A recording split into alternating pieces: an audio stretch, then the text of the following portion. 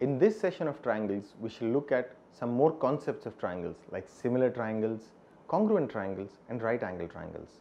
Let's start with similar triangles. Now there are two triangles which are not same as in which are not equal to each other in terms of shape, in terms of size, but they might be similar. How do we say they are similar? If they look alike but are different in size. So one might be slightly smaller, the other might be slightly bigger, but the ratio of their sides or their angles are similar. The angles has to be same and the sides of the ratios can be similar. So let's look at how they are. There is something called an AAA similarity wherein we know that the three angles of the first triangle are exactly equal to the three corresponding angles of the second triangle. So that is where it is called AAA angle angle angle similarity. There is something called SSS similarity which is side side and side. Now here the first side of the first triangle is similar or rather in the same ratio to the first side of the second triangle as the second side has the ratio of the first and the second and the third side has the ratio of first and second. So AB upon PQ is equal to AC upon PR is equal to BC upon QR. So this will give us SSS similarity. Let's come to SAS similarity, side angle side. Now side AB upon PQ is equal to AC upon PR, but the third side I do not know. But the including side which means that AB and AC the including angle is what? Angle A. Similarly, PQ and PR the including angle is what? P. So angle A is equal to angle P and the sides AB upon PQ is equal to AC upon PR. So that gives me SAS side and side and the angle including that side. So that comes in between that is why it is called SAS. Let's look at RHS similarity. RHS right angled, hypotenuse and side. So we know that both the triangles are right angle triangles and their hypotenuses are in the same ratio along with one of the sides in the same ratio. So hypotenuse 1 upon hypotenuse 2 is equal to S1 upon S2. So that will give us RHS similarity. Let's look at congruency. What is congruency? Congruency is nothing but equal to where the first side of the first triangle is equal to the second side of the second triangle and so on. How is congruency measured or identified? Let's look at it. SAS congruency.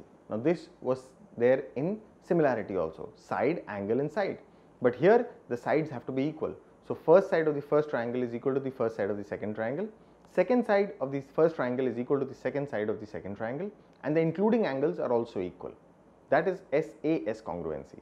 Let's look at ASA wherein two angles are equal of both the triangles and the side between the two angles. So if we say AB and PQ, so AB has AB side in it and PQ has PQ side in it. Angle B is equal to angle Q and angle A is equal to angle P.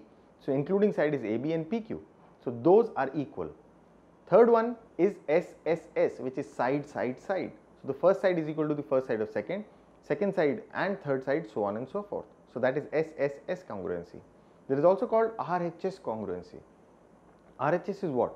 right angle, hypotenuse and side. So, right angle both the triangles are right angle triangle, the hypotenuses are also equal and one of the sides are also equal. So, that is RHS congruency. Let us have a look at one problem. The areas of two similar triangles are 49 centimeter square and 64 centimeter square respectively. Find the ratio of the corresponding sides. Now, the two triangles are similar. So, their angle their sides are in the same ratio. So, side 1 upon side 2 is equal to side 1 upon side 2 of the second triangle. If we compare the areas, area is what? Half into base into height. So, half into base into height of first one upon the half into base into height of the second one should give us the ratios. Now, base and base are in the ratio, h and h are also in the ratio. If they are similar, the ratio is same. So, can I say that b1 square upon b2 square is equal to 49 upon 64? So, b1 upon b2 is what? 7 upon 8. So, the ratio of the sides is nothing but 7 upon 8. Let's have a look at another problem. The perpendicular dropped from the midpoint of one of the legs of a right angle triangle to the hypotenuse divides the hypotenuse into two segments of lengths 3 cm and 5 cm. Find the lengths of the legs of the bigger triangle.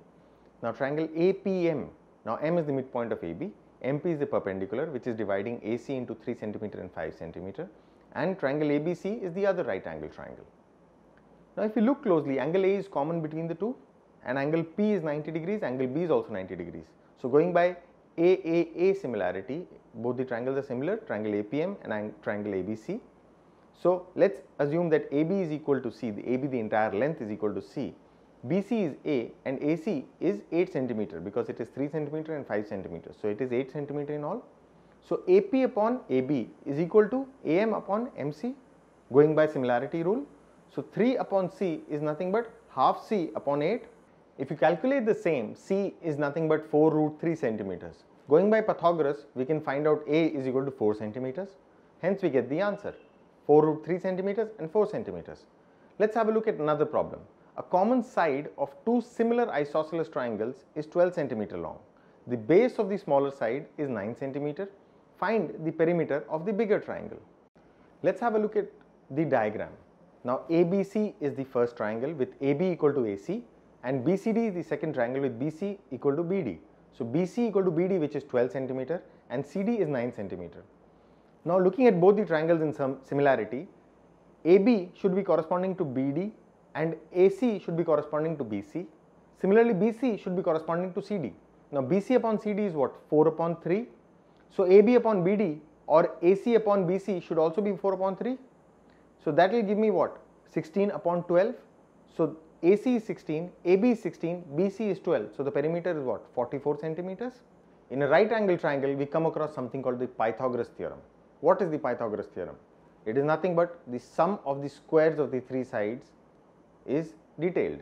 So the hypotenuse which is the largest side, the square of that should be equal to the sum of the squares of the other two sides. So in this figure, AC square should be equal to AB square plus BC square. Now let's look at something more peculiar.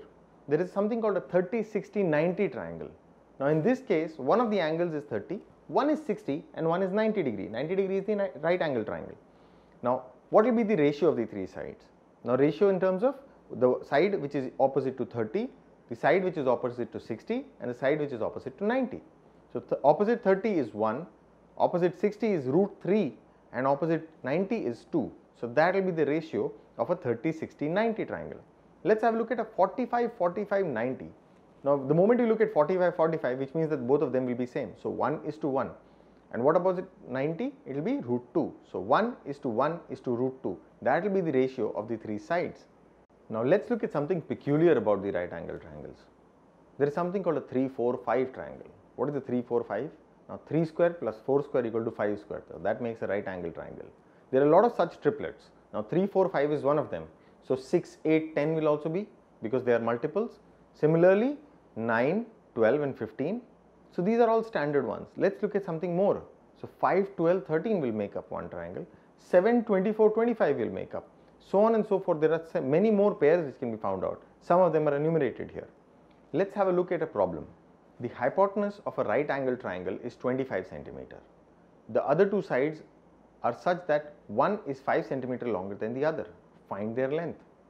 Now in the simplest way, a square plus b square equal to hypotenuse square. So if one of the sides is more than the other by 5 centimeters, so it will be a square plus a plus 5 whole square equal to 25 square.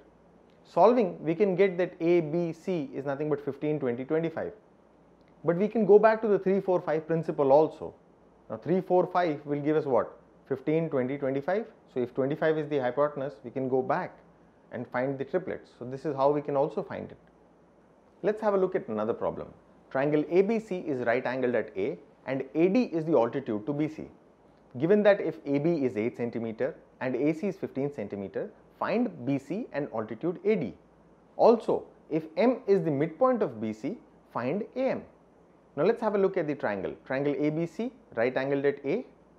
AB is what? 8, AC is 15. So if we calculate, we get BC is what? 8 square plus 15 square which is 17 square. So 17 is the third side.